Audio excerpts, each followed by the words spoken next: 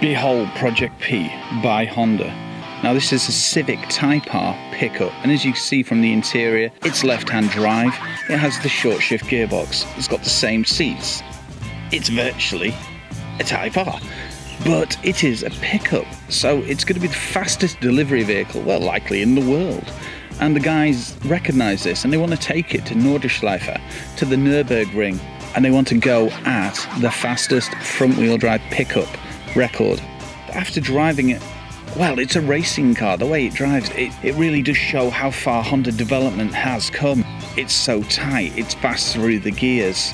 It uses the original engine out of the Type R, it uses the same suspension setup, and it'll do 165 miles an hour. It gets 0 to 60 in under 6 seconds. Now, after driving it, I think it's actually a touch faster than that. The power delivery is absolutely phenomenal. Project P is not going into production, well, as yet, but we certainly think it should do.